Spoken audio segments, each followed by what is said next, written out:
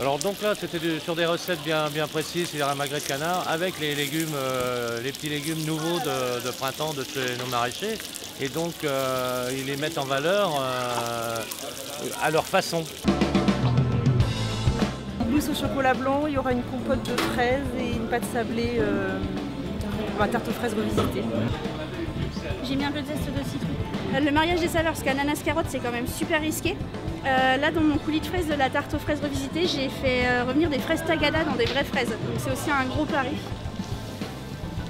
Bon, en fait, on est un peu dans sa bulle. On fait un peu abstraction des gens qui y a autour. On est vraiment. euh, Tu le fais cuire un peu côté À la base, euh, bah là, le mieux c'est de le cuire au sel et de le laisser donc sur la partie euh, en fait où il y a tout le gras. Et après, euh, donc là, je le fais cuire.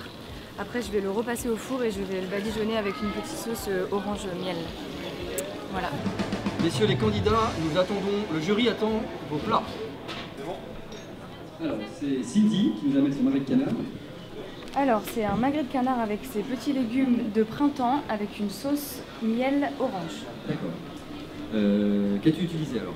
Tu l'as glacé avec ton, ton- ton sirop d'orange, enfin ton- ta réduction d'orange. Tes, tes petites carottes sont magnifiques. hein. Et c'est très bien. Et l'assaisonnement est très très bien.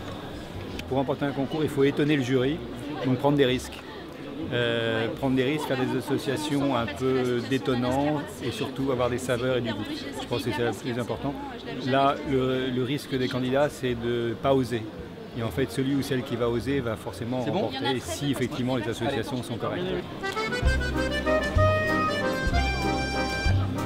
Stressé Oui.